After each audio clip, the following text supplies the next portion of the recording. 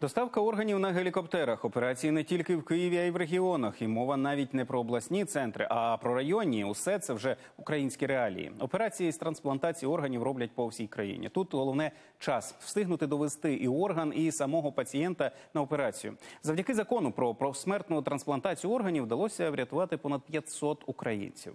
Утім, центрів трансплантології у регіонах критично не вистачає. Що необхідно, аби їх мережа зростала, і що таке дозвіл на посмертну пересадку органів, знає Марія Тарасова. Щойно закінчили трансплантацію серця. Це перша трансплантація серця в Одесі. Дуже вдячні родичам донора за дозвіл. Поки що все добре. Зараз пацієнт виїжджає в реанімацію. Можна померти і навіть після смерті врятувати комусь життя. На останню операцію тіло донора завжди провозять коридором пошани. Всі лікарі, всі працівники, які залучені до операції, становиться у довгий коридор, тому що працівників багато, і провозиться тіло донора, яке ще підтримується життя певних органів, проте це вже померла людина. Євгенія хоче допомагати іншим і за життя, і після смерті. Про донорство замислювалася давно, а нещодавно підписала згоду на посмертну трансплантацію своїх органів та внесла себе до реєстру донорів кісткового мозку. До цього дівчина зустрічалася із трансплант-координатором. Я могла ставити питання, мені ставили питання. Вони доволі прості. Насправді я спитала, чи потрібні якісь аналізи, якісь дослідження, якісь знімки. Він мені каже: Ну ви ж не плануєте там найближчим часом. Навіщо мені зараз ваші аналізи? Станіслав Шаталюк, трансплант-координатор одеської лікарні. Його завдання вносити потенційних донорів до єдиного реєстру та контролювати дотримання закону про трансплантацію. Серед тих, хто звертається, щоб підписати згоду, колеги по лікарні, молодь та люди, які пережили якусь особисту трагедію. В першу чергу це дуже цікаво. Приходять молоді люди. Вони і більшість жінки. Ось таке моє особисте е, спостереження. Я не питаю, чому вони так зробили. Я завжди е, кажу їм дякую. І це я поважаю їх е, рішення, і це дійсно заслуговує поваги. Лікар переконує, єдина державна інформаційна система трансплант-координації, куди вносять всі дані, має багаторівневий захист. Доступ до неї є лише в координаторів. Головний страх людей, що станеться витік інформації, і їх уб'ють заради пересадки органів. Немає жодних підстав. Але хто хто ніхто в Україні не зробить е, трансплантацію повз цієї системи. Це неможливо. І система захищена, і немає людей, які б це робили. І я б хотів казати, що і продати свій орган також неможливо. Якщо там до нас іноді знаєте, приходять люди там.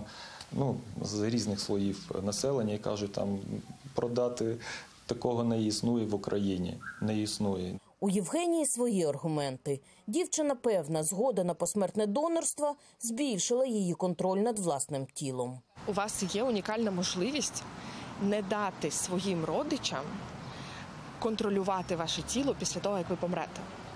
Бо е, оцей документ з підписом він е, має більшу юридичну силу ніж згода або незгода ваших родичів. Координатор зауважує, рішення родичів все ж урахують, проте їм самим буде простіше наважитись на складний крок. Родичі часто питають самі себе, а як би він поступив, а як би, а як би він хот- хотів. Ну, ми на цю тему не спілкуємося при житті, правда? Принаймні, частинка, частинка е, дорогої людини ще буде, буде жити. Сьогодні в Україні від померлих донорів найчастіше пересаджують нирки та серце. На те, щоб зробити операцію, є лічені години. Тому команди трансплантологів часто працюють на виїзді.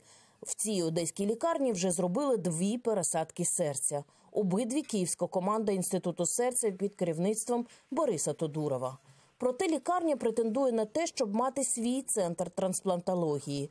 Адже з 1 січня будь-який медичний заклад, що відповідає вимогам, зможе укласти договір на проведення трансплантацій з Національною службою здоров'я. Місцеві хірурги мають досвід. В закладі є свій трансплант-координатор та фахівці, які можуть констатувати смерть мозку. Це стан, коли людина фактично вже померла, проте є ще дуже невеликий час для того, щоб констатувати, що все ж таки органи ще живі.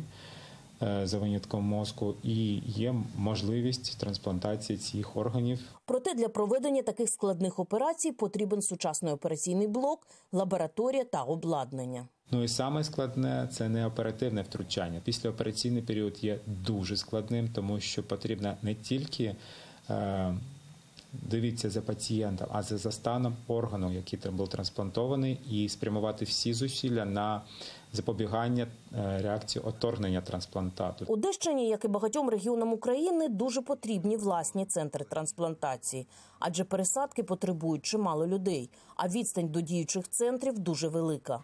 З початку року в Україні зробили близько 500 трансплантацій від померлих донорів. Це більше ніж торік. Проте, наприклад, у США роблять близько 30 таких операцій щодня. Окремий напрям і такі операції роблять в Одесі пересадка кісткового мозку від живих донорів. Найчастіше ними виступають родичі хворого.